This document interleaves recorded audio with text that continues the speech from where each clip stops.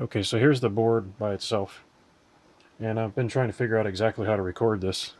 Um, already retried many times. I've done many retakes. But I'm going to give this a try.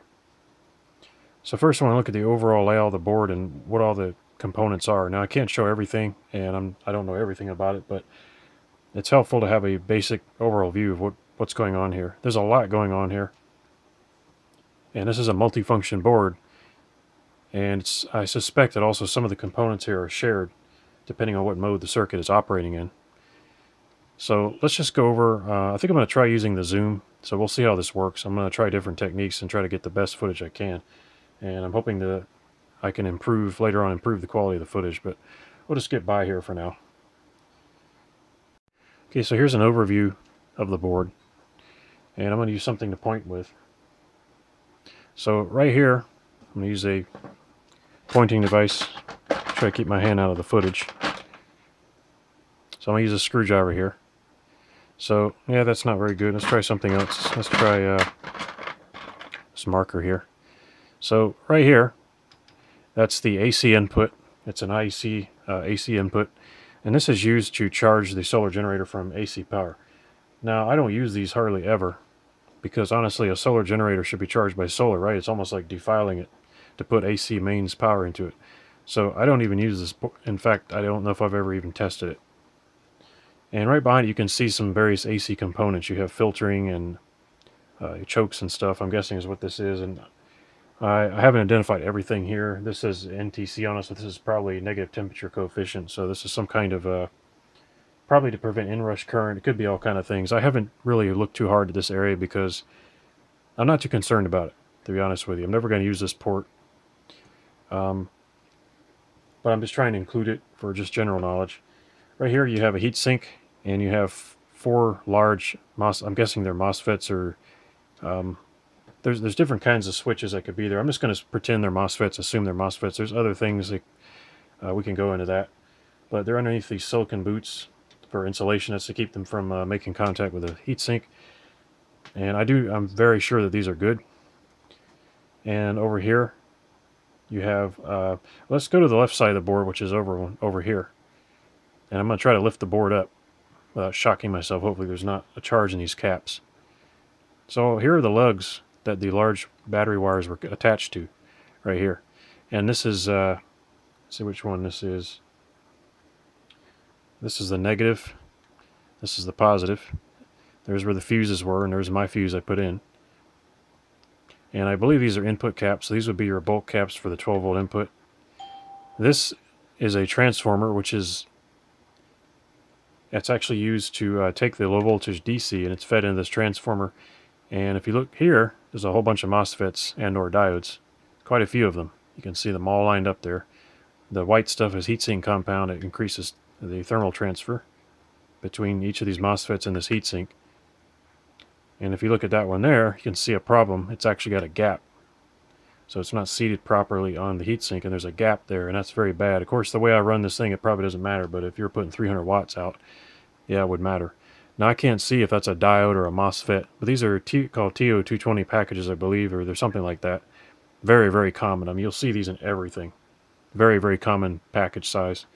So somewhere on here, these MOSFETs take the 12 volts and they put it across alternately the taps, the primary taps of this transformer.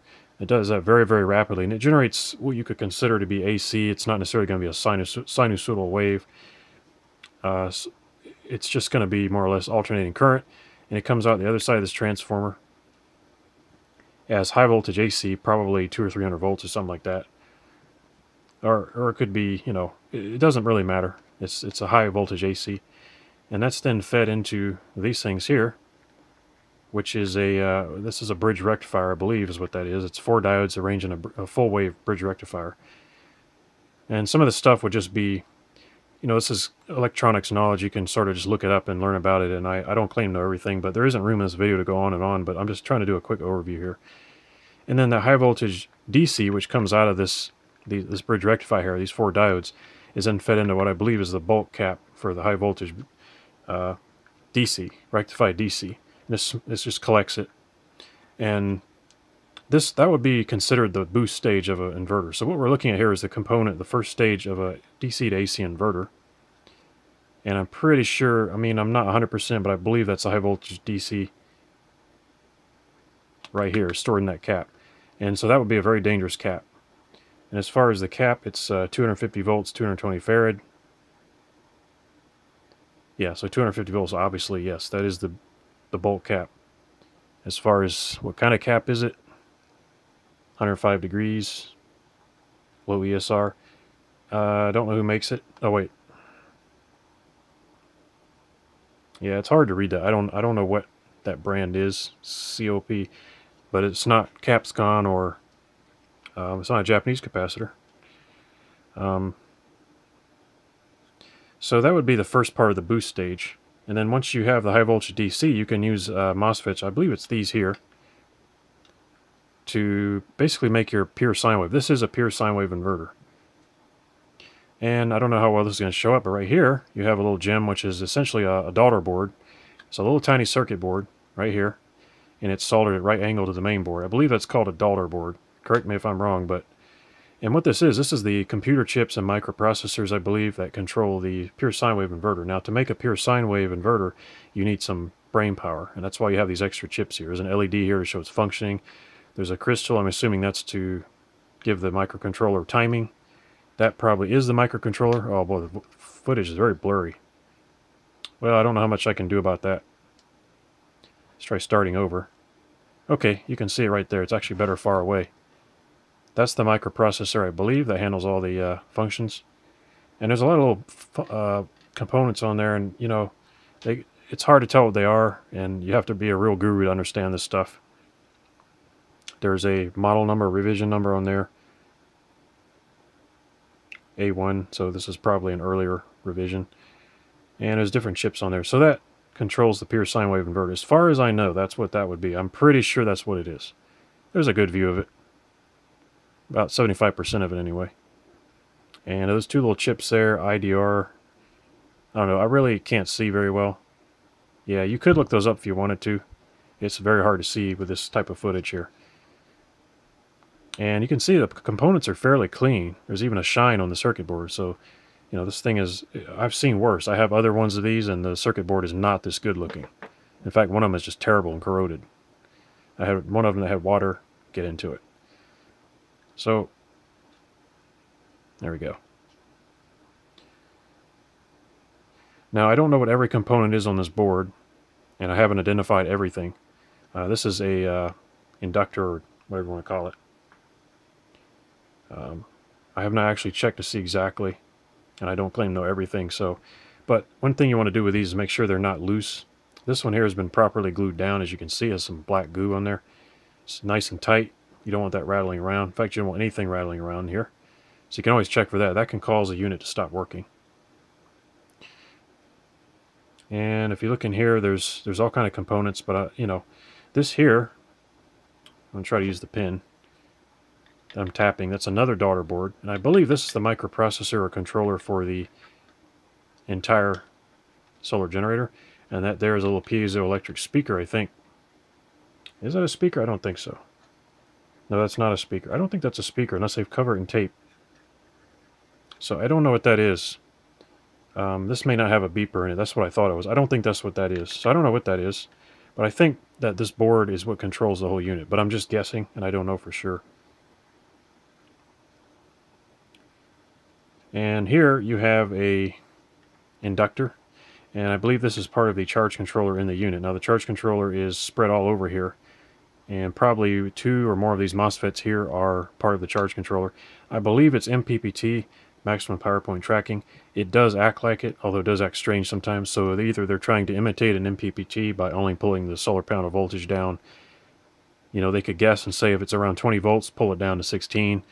If it's 40 some volts, then pull it down to around 30. Could be something like that, or an actual maximum power point tracking controller. I don't know. I'm just guessing. But that is, I believe that is an inductor for the charge controller. And there's different components here. You, realize, you have to realize there's different sections of the board, and this part here can be used to charge the battery through AC. But then I believe some of these components are shared with the pure sine wave output as well. I suspect they are. Here is the output for the AC. So that's a dangerous plug there. That could become live, and that, would, they'd have there'd be 120 volts AC right there coming out of there. This is the solar input right here. So that's DC input from the solar panels. And there's a lot of components on here. I mean, you really could go on all day. Um, that's probably a a jumper or a shunt. They could be using that as a shunt. Who knows if that's really a real shunt? It could just be a piece of wire. It's hard to make a shunt. Shunts are for measuring current. And it's hard to make a real shunt with a piece of wire. But who knows what that is. And here you have some opto-isolators. That's This board is covered with opto-isolators. 95% certain that's what those are. I haven't looked them up. But they're useful for measuring uh, voltages and getting feedback from other parts of a circuit that you don't you don't want an actual electrical connection to. These completely are galvanically isolated on both sides. And what it is is basically a photosensitive element and an LED or something on the other side. And that way you can get a, a signal across without actually making electrical contact. So I'm not going to go on too long. This video will take hours. But you want to look at all the stuff and make sure that there's nothing burned out. It's very common to find components burned out. But this board is actually in really good shape. I'm not at all disappointed in it, and I, I paid not a whole lot of money for this solar generator, so I'm not, I mean, I profited on the deal. I really did. You know, I could have also lost out. So that's what's in here. And the footage doesn't look too bad. Now these, uh, you'll notice some slots cut in the board. And what those are, those are, I guess you'd call them spark gaps. And that's to separate high voltage from lower potential or lower voltage sections of the circuit. It's for safety. And there's actually quite a few slots cut in the board there, you can see. And over here you have some very high DC voltage. And DC high DC voltage is known for jumping the gap, so to speak. Well, not so to speak, but literally. So you can use things like that to help prevent um, arcing. So actually there's only two slots cut in the board. Oh no, there's three. There's one there. There's three of them. And you can see some of the some of the connection points are labeled uh, with a silk screen, and but who knows what those are? You have, yeah, I, I don't know. I believe those go to the display. Yeah, those go to the display, and who, who knows what those mean? LED, TY. I, don't know what those mean. I wish I did. Uh, there's a lot of cryptic stuff, and you, you just have to figure it out. I'm not I'm not sure. Over here, we have the fan control. Now I've torn off by accident one of the plugs. This one here wasn't torn off, this one here was. This is the two fan control. There's a fan control circuit here, and I don't know exactly how it works, but I don't know if it's just PWMs or what. But that's what that is. And you see there's some opto-isos there, which I'm just going to guess monitor the fans, but I'm not sure.